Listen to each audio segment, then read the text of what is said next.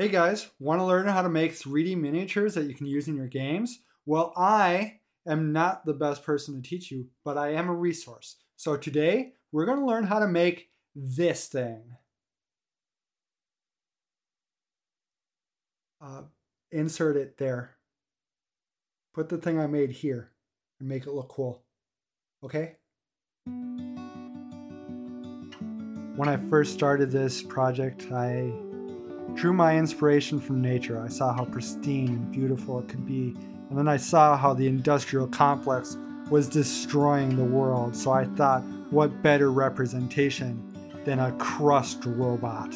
Half crustacean, half robot, all deadly. Now that we're all calm and we're thinking about crust robots, let's make one. As you can see here, I have an asset library full of sci-fi greeblies. Greebles, greeblies, no one will ever know. I don't know. But I'm just kind of picking shapes I like. I'm just gonna bash them together. This is where the term kit bash. I know I'll keep up with these uh, terms, greeblies, kit bash. These are technical terms that are hard to learn. And uh, I'm just gonna just gonna kind of stick things together. I'm gonna rotate things. I'm gonna be like, eh, I don't know if I like this. I'm gonna delete that thing. I'm gonna rotate this way, and then uh, I'm gonna look at it some more. You can see the process is super precise. Um, you gotta stay focused the entire time. You cannot lose focus. You can't be watching anything else. You know, you can't be watching your favorite Twitch streamer uh, streaming, streaming whatever the game is that kids are playing these days. No, you got to be focused. Uh, here, look, I found these two. It kind of looks like arms now. I'm thinking, and that's, yeah, that that looks like some arms there. Okay, cool. And all I did to duplicate it, I put on a mirror modifier on that. I just mirrored it around the, the center object. And here's another little hand thing. Oh, yeah, okay. I'm liking that. That kind of looks like an arm thing.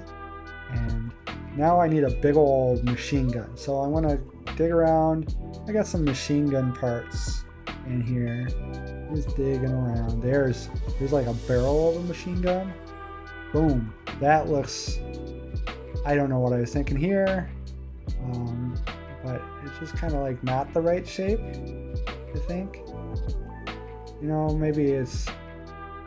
Mm, no, no, that isn't it. That's not the right shape. Um, so I'm, just, I'm, I'm going to just mess around with this and say I'm an idiot. That's super stupid. I'm I don't want that.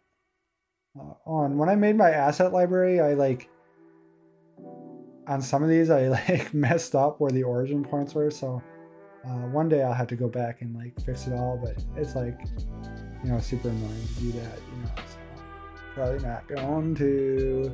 Ah, there we go. That's looking better on this arm. Look at that. Now he's got like a big old machine gun, Gatling gun thing. Go boom, boom, boom, boom, boom, boom, boom, boom. Super awesome. Yeah, I'm I'm digging that. That's a cool looking thing. And basically, this all you're gonna have to do is you're just you're just gonna kind of bash some things together, you know, and uh, come up with uh, cool shapes. And I'm gonna continue doing this for a little while. I'm gonna take a moment to show you where I got all the kits to bash for kit bashing. These are a few of my favorites. Oleg here, I'm using his kit a lot. I have a few from Amin here. And then I also have, I love Bernard Vanderhorst. His stuff is awesome. So check them out. CG Trader and uh, QBrush and ArtStation are all good places to find this stuff. All right, now I'm starting to add some organic shapes. I use a UV sphere. And then I'm gonna add a multi-res uh, modifier on it. And we're just gonna use the grab brush pretty much and uh, to, to get the main shape. And I'm just gonna use the basic sculpt tool to kind of give it a crustacean. Like I'm looking at the shells of crabs. You got these little spikes and uh, valleys and stuff. And so I'm just going to do that and make it look like a crab here. And then uh, position it and just copy it, put one big chunk up on the, on the shoulder there, just kind of move it a little bit with the grab brush and it's pretty easy. It's just having fun with this stuff. It's uh, a fun process to see what shows up. Here I'm splitting the two arms apart. I'm to add a uh, big old knife. That's it. There it is. I'm just kind of thinking that uh, this knife is pretty sweet. Or maybe his arm should be raised up a little bit. And uh, we're to add, start adding some smaller pieces to solidify everything. If you're 3D printing things, you need them to be detailed, but you don't want things to be like really loose. Uh, you want to make sure that there's a good amount of of thickness to every part. And there's uh, a piece from Bernard there, that worm thing. I'm just going to push those teeth inside that, give it kind of a mechanical base there. This thing is looking pretty wicked. It's pretty scary here. Totally enjoying it. Awesome. Let me show you one of the coolest things. So I have this object here and I've added an array modifier and a curve mod modifier. This allows me to basically make a chain or make it like a backbone out of these mechanical parts. that I can just move into place using the curve. So however many uh, of these objects it takes to fill up the whole line, the array modifier will, will make the line and then the curve will put them all in the right shape. This is one of my favorite things about Blender is doing stuff like this. Really awesome. I was just minding my own business using Blender and I went to enter sculpt mode and then Blender just disappeared, crashed. And I thought, well, that's okay because I have autosave on. I only lost, you know, two minutes worth of work. That autosave is every two minutes. It, it, it does some stuff. Maybe I need to do a little bit of resculpting. It's fine, not a big deal. But it didn't autosave when I went to recover it, I was all the way pretty much back at the beginning. Like I didn't do any of this at all. So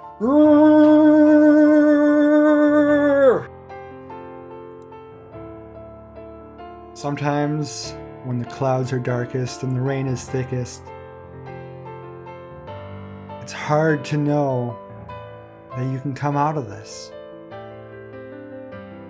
when you're at your lowest low, sometimes it's only a matter of time before the sun comes out again and you can be up at your highest high. So keep trucking on. I'll keep trucking on. All right, I'm back. I redid everything as close as I could remember that I had done it.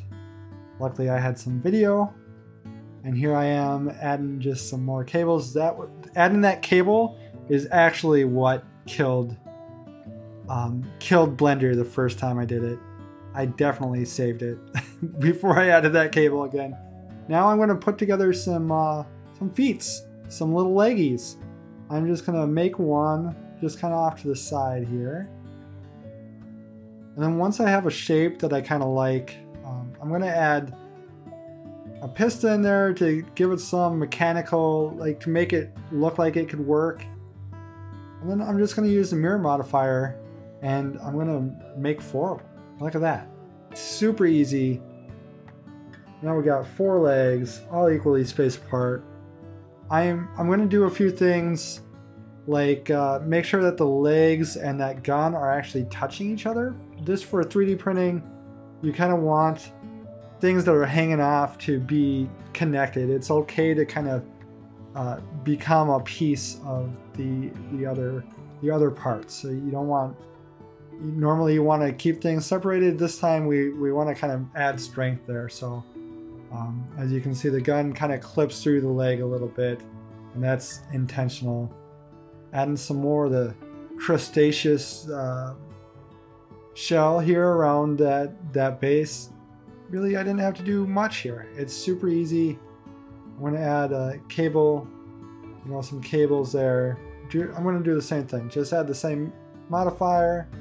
Those cables really add a lot of detail to this. And uh, we're, we're looking pretty darn, pretty darn close to being done here.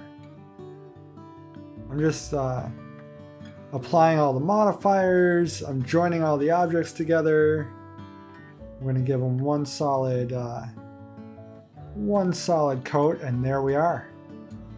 There's a guy. I see that maybe we're a little bit thin in the middle.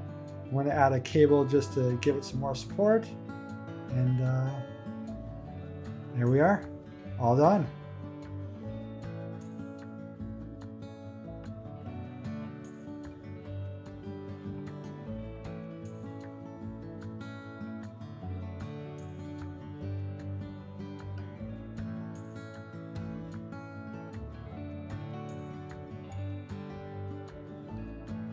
Every year, thousands of crust robots are euthanized because there aren't enough families willing to feed them their diet of enriched uranium. But you can help. There is hope. You can do two things. One is support this channel by hitting the subscribe button. The other you can do is you can adopt your very own Crust robot. By following the link in the description below, you can get the STL file to print your very own. Please, don't let another Crust robot suffer and act today. Bye.